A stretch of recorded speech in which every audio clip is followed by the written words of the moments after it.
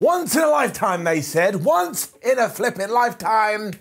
What a bunch of lies. Because, yes, just one year after we did have The Rock and Cena with that very tagline, we set it up again at the 2013 Royal Rumble. And the way WWE tried to justify this was, well, John Cena won the Royal Rumble and The Rock won the WWE Championship. What did you expect us to do? The idea, of course, was to make Dwayne Johnson the champion because then when he was doing his many PR engagements, it could basically serve as one kind of promotional tool. When you do look at it that way, it does make a lot of sense. And then just go and look at all the money WrestleMania 29 made. It was stupid. This is also the night when Chris Jericho made his return to the WWE after signing a short term deal under the illusion that when we did get to this WrestleMania, he was going to fight Ryback because WWE wanted to try and rehab him and maybe even make Mr. Feed Me More the WWE champion. And then we got to that WrestleMania, and who did Jericho face and lose to? Fandango. So just remember that if you are an up and coming wrestler, you just never know. The best story I read from this era, though, actually comes from an episode of Raw. Now, I don't remember this, but maybe you do. Apparently, before a commercial break, Ric Flair's music started to play, and as ever, everyone broke down like, oh, I can't believe it. WWE has ruined the surprise. But again, I read it in many places that apparently this was the plan because they wanted people to take their friends going, oh my god, I think the Nature Boy's about to be on Raw. And I like to believe that is true. It's kind of smart. But from Phoenix, Arizona, in front of 15,000 fans and 512,000 pay per views, who knew The Rock was a draw, let's retro up those downs for the Royal Rumble 2013. The opening video lets us know that when it comes to time, you can never get enough. WWE would know that. They tried to put on a seven hour plus WrestleMania, and as you can tell, I ain't over it. And then start bigging up The Rock versus CM Punk, which is gonna be our main event. And there's this weird trumpet music as if you're watching Sports Center or as if John Cena is about to come to the ring. I mean, it really is going do do do do. We then go into our first match, and geez, my knees. Trying to make Alberto Del Rio a babyface There's got to be one of the most stupidest ideas ever. For starters, it just didn't suit, and here, my word, we are just taking the good guy shovel and trying to smack it into everybody's face. Because when he is making his way out to the ring, he bumps into Bret Hart, and they may as well have just hugged and said, please, let's love each other, because then maybe everybody else will love you too. I mean, the Hitman even has to call Del Rio a Mexican version of himself, and then Alberto says, Well, you're a bit like a Canadian version of me. And I was like, I understand what the hell is going on. And Ricardo Rodriguez is stood there the whole time like he's some kind of a child, just looking around. And eventually he gets Bret Hart's sunglasses. Who the flub wrote this? It is also the setup, obviously, for Alberto Del Rio, a world heavyweight champion, taking on the big show. And I can sum this up in one noise because of course we've got to the Royal Rumble, which is always going to be the main event in many people's eyes, but because we have two championships being defended, one was always going to feel a bit meh, and it's definitely this one. Alberto is also going for Hurricanranas to once again try to establish that we're meant to cheer him, but this is a terrible plan because it's a last man standing match, so eventually the chair is introduced. Because when Alberto does get this, he basically just taps the big show on the back. Like, I actually think he's worried about hurting him. And if there's anybody in the WWE you probably don't need to worry about hurting, it would be the big show. The clue is in the name, he big. And look, I'd rather safe chair shots like this than people trying to murder each other, but this ain't it, Chief. And eventually you do get into all the 10 count shenanigans, but it just never feels as anxious as it meant to. Even after the big man choke slams Del Rio, I was like, well, he's clearly gonna get up from that, and he does. And eventually the giant is becoming a boss from Arkham Asylum because he charges at Ricardo Rodriguez he misses, and he goes smashing through Barry Barricade. Do you want to know how Del Rio gets around all of this as well? He realizes that the big show is just gonna keep getting up to his feet, so he gets some tape and he quite literally tapes Big Show to the ropes. Apparently, Show isn't strong enough to break this, even though he was breaking bones seconds earlier. And also, is this really what a good guy would do? Doesn't make him a little bit of a dick. So as you can probably tell, I wasn't really into this because there's just no stakes. I didn't believe Alberto Del Rio as a good guy, and it's all very by the numbers, and it's getting it down. Dolph Ziggler was here next, and he told Vickie Guerrero that you are pathetic, so what a nice guy he is, but he also has a master plan. Because he is going to enter the Royal Rumble at number one, he is going to break the record for the longest time served in a Rumble, he's then going to win the Rumble, and because he will be the Rumble winner as well as Mr. Money in the Bank, he's going to win every single World Championship and unify And even though this was way back in 2013, 2022 Simon was going, yeah, yeah, you should do that. We would make you a star. Instead, what WWE decided to do was allow him to cash in his briefcase, but then make out like it was a massive fluke. AJ Lee and Big E are with him as well, and Big E is still called Biggie Langston. We hold our heads in remembrance of his name. We then get some two camera promos from some people who are going to be in the Royal Rumble, and we absolutely need to start doing this again. We begin with Cesaro, who basically goes, I love in the Royal Rumble because I'm foreign. And I was like, thanks, Vince. We also get the primetime players who want to win the Rumble for the millions and millions of dollars, and why the hell did we ever break them up? Then we go to Randy Orton, who basically just does this. It was weird. John Cena then joins in, and you can hear the boos instantly. Wade Barrett, already being the Intercontinental Championship, wants to add a Royal Rumble win to his CV. And then Sheamus promises that he will win back to back Royal Rumbles because he knows the brogue kick. Ryback then follows Orton because he just stares at the camera and then blurts out something like, I only eat fruity pebbles. I mean, I don't think he did say that, but honestly, I did not understand one word that came out of this man's mouth. You then get an absolutely crazy match following this because it is the tag team champions of Daniel Bryan and Kane taking on Cody Rhodes and Damien Sandow. I mean, my word. It doesn't go overly long because I don't think anybody actually believed we were going to see a title change here. But in terms of looking back through history, this is absolutely nuts. Because Kane is now a mayor, Daniel Bryan retired, came back and joined AEW. We all know the story of Cody Rhodes, and man, that Damien Sandow, he got put through the ringer. This was obviously a year before Bryan was going to get his super duper mega push, but you can already see the foundations, and actually being in this tag team allows him to shine forth his sports entertainment side because Kane is all like, yes, yes, yes. Daniel Bryan is all like, no, no, no. And although that sounds terrible coming out of my mouth, actually in practice it was pretty good. Daniel himself has credited this area with allowing him to climb the sports entertainment ladder.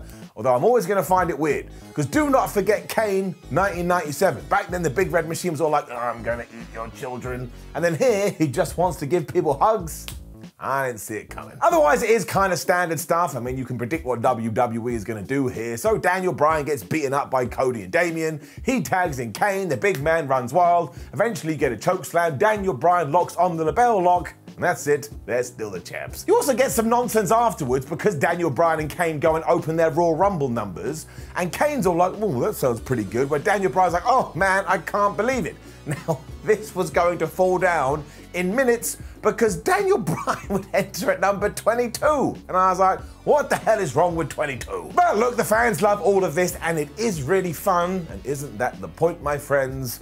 Up. It was then time for the 2013 Royal Rumble, and as we've already established, the major problem with it is that everybody kind of figured out who was going to win. Because despite all the craziness with The Rock and John Cena round one, you could just tell that we were going to do round two, with this time John Cena getting his win back, but also getting the super duper prize of being the WWE champion. And what easier way to set that up and go, oh man, well, don't worry about that tagline than by having Cena win the Royal Rumble. So actually, fair play to WWE, because if this was your plan, you executed it well. The reason it does get away with this too is because it is quite loaded with star power.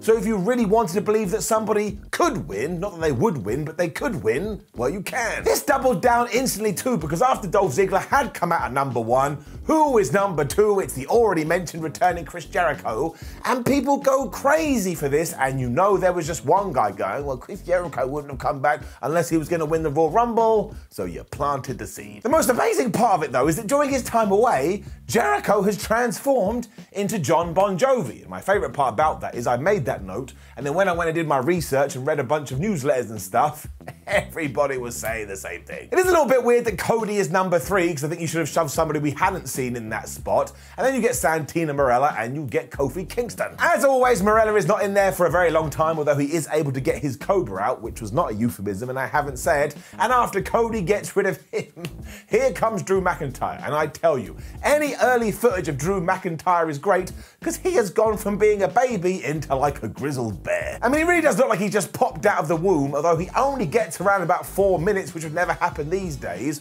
when Titus O'Neil arrives in the Rumble, and then we get our first surprise, because here is Goldust, and of course, he goes right after his brother. The fans enjoy this so much, and I'm going to tell you, I loved it back then and I loved it now, To the point it still annoys me the WWE never pulled the trigger on this properly. I mean, we had to build a whole brand new wrestling company in order to get it.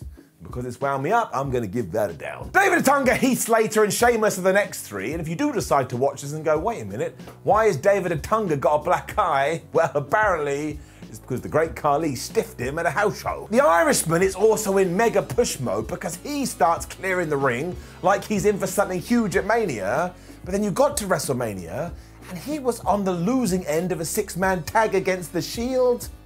I don't want to make any sense. Lord Tensai and Brodus Clay then arrive in the man, we've got stupid gimmicks that never going to work pairing. This is when Cody throws out Goldust. And once again, the crowd are like, damn it, Cody, how did you do it? Seriously, WWE, if you're watching this, why didn't you just get it done? We needed some star power, so Rey Mysterio is in there flying around, and we get Darren Young. But really, then the next segment is all about the Kofi. Because in one of his ridiculous Royal Rumble spots, he gets thrown out of the ring, he lands on Lord Tensai's back, he then gets thrown through an announce table before he gets a steel chair and uses it as a pogo stick to get back in the ring. Now, this is absolutely great and it's so damn impressive, but just imagine this in any other sport. You've clearly been eliminated, but because you did something wacky, we're gonna let you back in. Cody eliminates him almost instantly, so I was like, man, why did we even bother? And this is when we get only our second surprise throughout the entire Royal Rumble because here is the Godfather. He's got his women, of course, so deep down you will be feeling a little bit oogly boogly in your tum tum.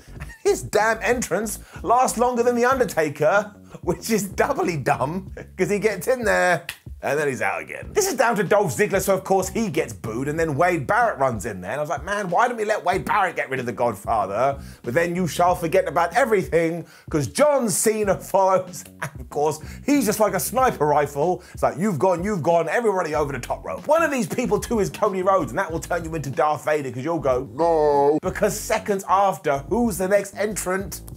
Damien Sandow, those two could have helped each other. Daniel Bryan then makes his disappointing arrival at 22, and I'm never going to get over it. And once again, it's just a moment in time where you want to point at WWE, prod them, and say, why did it take you so long? Even here in 2013, everybody is doing the yes chance, and they're clearly in love with Bryan. But no, we take another 13 months to pull it off. Cesaro, who is still allowed to be Antonio, the great Khali, who has some terrible chops, and Kane, who's only a few places after than the next three in there. Although I do like this because we go back to Team Hell No and we make sure we have some fun. Because after Zack Ryder has entered into the Royal Rumble, Daniel actually gets rid of Kane. But then instantly, he gets knocked off the apron, the big red machine grabs him, and Bryan's all like, please, please put me back into this grand circle. But Kane doesn't do it, he drops him on the floor. I just thought that was really nice. To the point. Ah. Randy Orton is there now, and he too is allowed to throw people to the floor because we see him as a star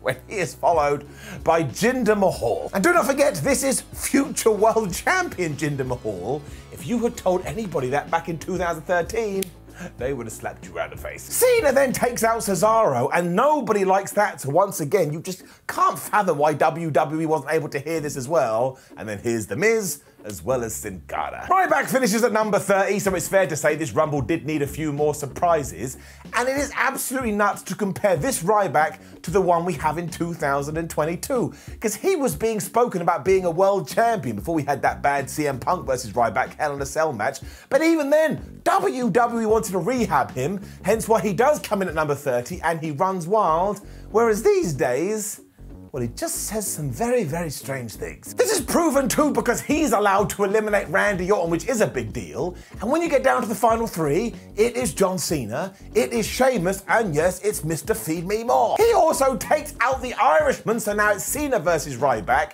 And this is where everything changes. A few seconds earlier, when he had got rid of the RKO man, everyone was like, boo, Ryback, we hate you. But now, because it's down to Johnny Boy or Ryback, Everybody actually wants Ryback to win. Look, I'm doing conductor hands. We then go into our prerequisite teases to make you think that maybe, maybe Ryback could win. But come on now, imagine The Rock versus Ryback at WrestleMania 29. I'm a positive Pete and you can't sell me on that. So instead, John Cena grabs him, out he goes. And now we know where our future lies. And look, this is an okay Royal Rumble. I'm probably never going to watch it again, but it was fun to watch it twice. Up. We then cut to The Rock straight away, who is so amped up to do a promo. I mean, he can't stop moving, he's already sweating, and of course, he has to drop in the fact that at one point in his life, he only had $7. Now, look, this is a very inspiring story, but sometimes you want to go, Dwayne, Dwayne, we get it, we've heard it a lot. Still, here's a traditional Rocky promo when he mentions his mum getting over cancer and that he's about to end Punk's 434 title reign.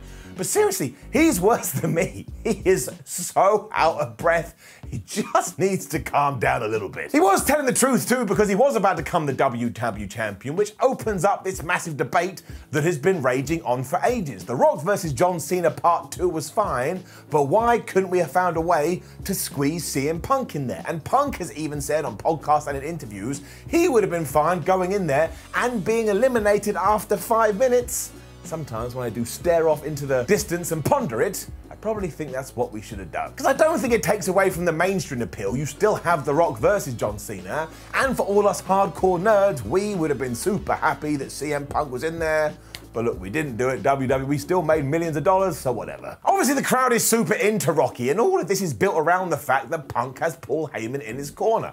Because anytime the Great One gets any kind of offense, Heyman is just going distraction, distraction, and using up all his MP. You also have the fact that The Rock has an injured midsection because the Shield had beaten him up on Raw. So, of course, as soon as Punk is on top, he takes his fist and he punches him in the stomach. He also drops him onto Barry Barricade, applies a leg scissors, and suplexes him into the ropes. And anytime he does do this, Heyman is there too, giving him a few shots. The twist is kind of interesting though, because all this turns around when CM Punk goes for something off the top rope and he tweaks his knee. Now, this was to tie into the fact that he had had real surgery on his leg, and I suppose that maybe, just maybe, it's all gone bad. But as soon as The Rock sees this, it's like a shark and blood, he just goes after it. Mean, maybe he thought if he did do this, somebody would offer him another movie role in the jungle. And before long, he applies that sharpshooter. And I've said it before, I'll say it again.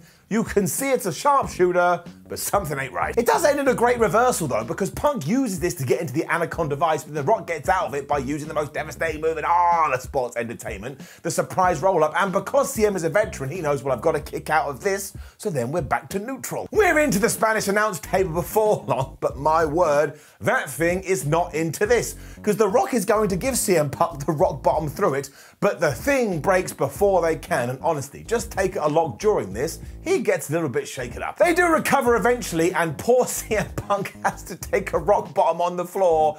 And can you imagine that? Dwayne Johnson, one of the biggest superstars in the world, probably whispered, Hey, we're gonna have to do it on the mats. And poor Punk has to be like, Fine, yeah, if I have to. It is around this part, though, you start thinking about all the stipulations and the story, because one, Vince McMahon had said, CM Punk, if the Shield interferes, you're gonna lose your WWE title. But two, it was quite obvious that at some point the Shield were gonna interfere. So from nowhere, the lights go out as if the Undertaker's about to go to the ring, and they never turn back on. Instead, you hear this, like chum pam pow, chum pam pam, and you just hear noises that somebody is getting beaten up while Michael Cole, who apparently can see in the dark, is all like, it's the Shield, it's the Shield. The Shield are beating up the Rock. So I was absolutely dying, because when we do get light again, it is obvious what has happened, but the ref's like, well, man, you know, I didn't see it, so what do you want me to do? So they may as well have got a gun, and they may as well have shot the Rock, and even though there would have been blood, and the murder weapon would have been on the floor, a judge would have gone, well, I don't know what you want me to do about it. Anyway, Punk does get the Rock back in the wing. He's got this huge smile on his face,